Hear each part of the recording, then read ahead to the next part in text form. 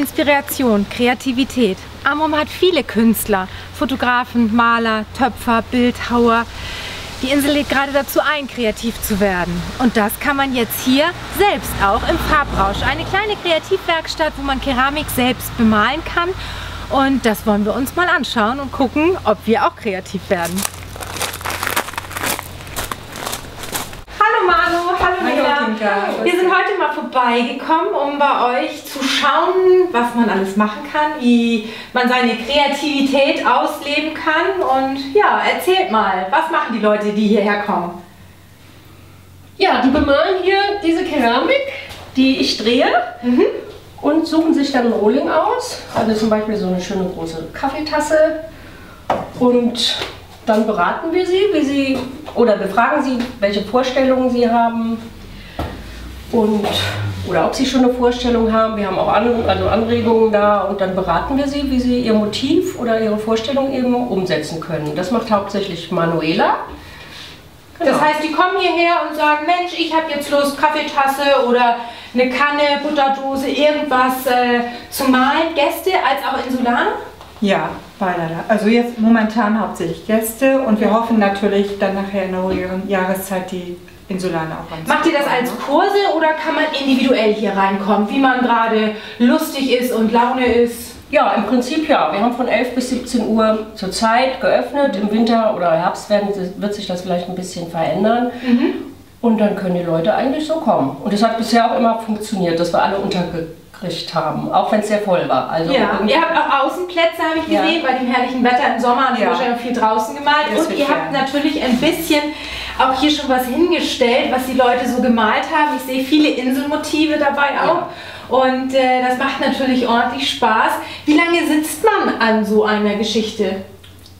Anderthalb, zwei Stunden kann man schon rechnen. Ja. Ehe dann so das, die Keramik zuerst, dann das Motiv, die Farben ausgesucht worden sind und ja, das Werk vollbracht ist. Und das wird dann fixiert und äh, wahrscheinlich nochmal gefestigt? Nee, es wird dann nochmal genau glasiert und nochmal gebrannt. Okay. Bei 1100, über 1100 Grad und dann kann man es auch in die Spülmaschine machen, die, das Gebrauchsgeschirr und ja, und die Leute sind also sind oft äh, auch verwundert, wie lange sowas natürlich dauert ne? und wie, ja, wie aufwendig es doch letztendlich ist, sowas zu Also bemalen. haben, ne? haben mal ein Gespür dafür, Ja. was ihr so als Ja. Künstler auch wirklich sonst ja tagtäglich ja, umsetzt. klar. Dann wollen wir doch mal gucken. Ich glaube, bei mir pulsiert auch ein bisschen die Kreativität. Lass uns mal loslegen. Ja. So, spannend. Schau mal hier, Kinka, das wäre doch was für dich. hm? Das ist der richtige Kaffeepott für unseren Paddel. Die richtige Größe.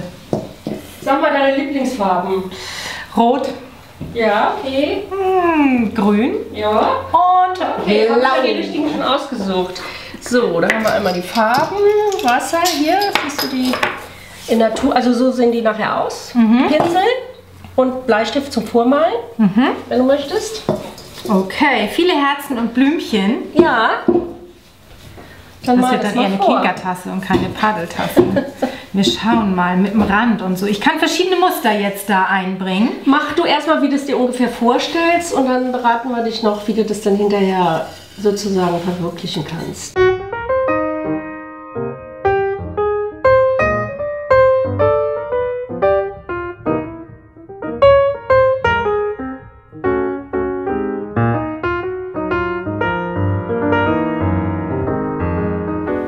Letzte Woche fertig gemalt. Jetzt wollen wir uns das Endergebnis mal anschauen und abholen.